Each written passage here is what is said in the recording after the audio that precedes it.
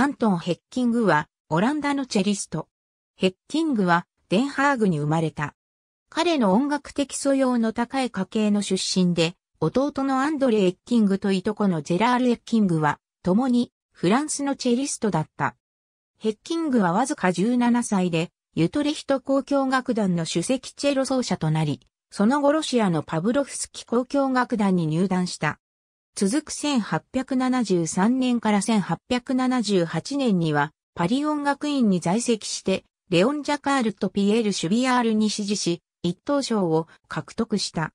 アメリカへの初の演奏旅行へ赴いたヘッキングは、ロシアのピアニストであるアンナ・エシポワをはじめとして、多くの演奏家と共演した。ヨーロッパに戻った彼は1880年にベルリンでベンヤミン・ビルゼのオーケストラに参加。続いて1882年に設立されたベルリンフィルハーモニー管弦楽団の創立メンバーとなった。ヘッキングはその後間もなくベルリンフィルを退団し、ベルギーのバイオリニスト兼作曲家のウジェーヌ・イザイと共にヨーロッパ中を巡る演奏旅行に出た。1884年から1888年には折に触れてベルリンフィルで活動。1889年から1891年にはボストン交響楽団の首席チェロ奏者を務め、1895年から1898年にはニューヨークフィルハーモニックで活躍した。また、この時期にはアメリカやヨーロッパで多くのソロコンサートを催した。